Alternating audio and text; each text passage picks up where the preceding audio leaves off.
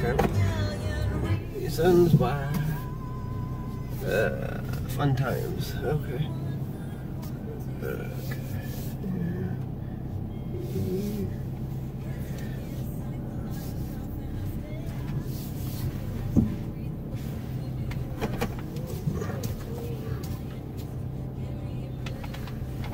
That's stuff. Of course, at nighttime, it's always better to find parking spots. How you doing? First time, it's nighttime. This is supposed to be something of a vlog. And currently, we're leaving Mason and home. And yeah.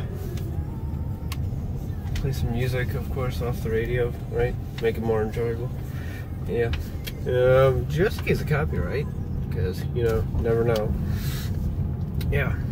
So this is my regular way back for the most part. Sometimes not going this exact way when I'm leaving. Eh. Oh, Minnesota. Very nice. Okay.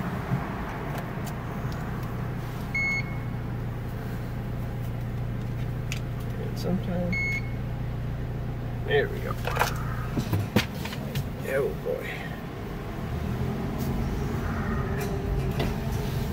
I really hope this jarring does not uh, make you fall off. And by you, I mean the phone, not the actual camera. And where are you going? You're going this way.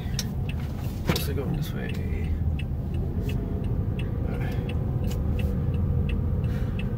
I got bird poop on the freaking windshield. So, since I don't know if this is really what constitutes vlog, because that's, you know, a thing now. Uh, hi. a little late for that, of course, but, you know, what you doing? Sitting on your phone. See, I don't sit with my phone and go texting crazy. I just sit my phone and I message those who I need to message, and I'm done. And where are you going, buddy? Clearly, lots of people. Yeah, see, this is what Mason is well known for: is the number of commuter students and also the sheer freaking number of people in the dorms because they can just go crazy. And yay! Oh, don't come running. Thank God. Yeah, so this is like a way you could, you know, be like how not to drive, or how to drive in some cases.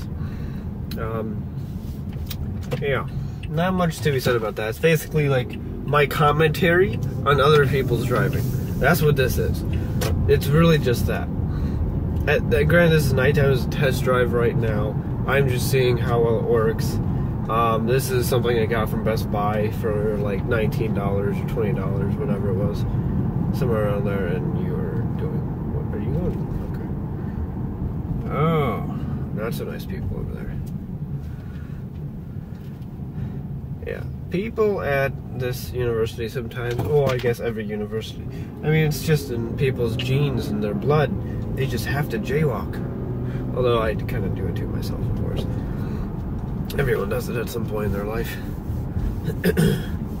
Until we're in spaceships, then you're not really jaywalking, you're just walking more than you usually would on this planet because only here do we have roads. A ship in space, you don't have roads.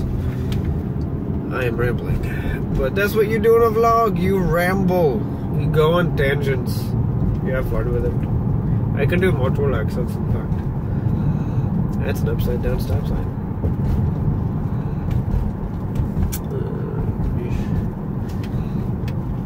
Uh, yeah, this is the result of growing my hair out over the last month and a half, maybe. I don't know. Not too not too sure. But yeah. This is like a 30 minute drive at night, thank God. Sometimes if I'm really lucky it's like 25, but that's really hard to do because of speed limits. Because in Germany, if you don't know this, in Germany, there's essentially no speed limit for the most part. It's like I mean I don't know about like local areas, like the idea of residential and rural, like what what speed limits are there. I mean, rural, there's definitely no speed limits. They have drivers going at freaking 140 miles an hour, and I sound really nasally. Ugh. Yeah, this is my voice with allergies. It sounds better, I think, without allergies, except there's no such thing with me and no allergies. It's just less allergies. Yeah, you'll hear a lot of me going because there's that much uh, allergic reaction. Uh, if you are okay with getting more specific, it's mucus and phlegm. It's not, which is really just mucus. Yeah, there's a there's a, a fact for the day.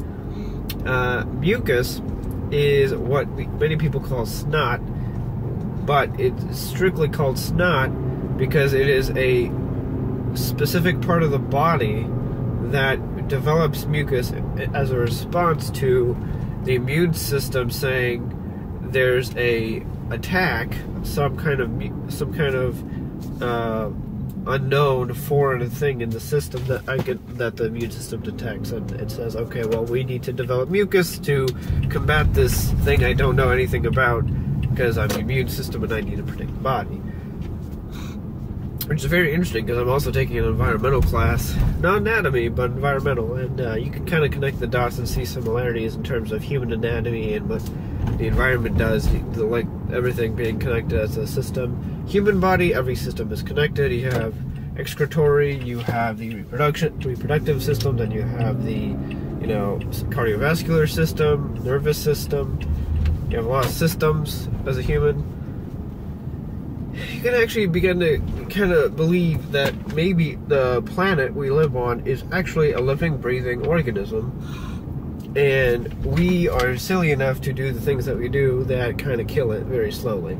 Like um, burn the coal, uh, use up the oil, and um, where we take off the take up the oil from, we go and put lots and lots and lots of water.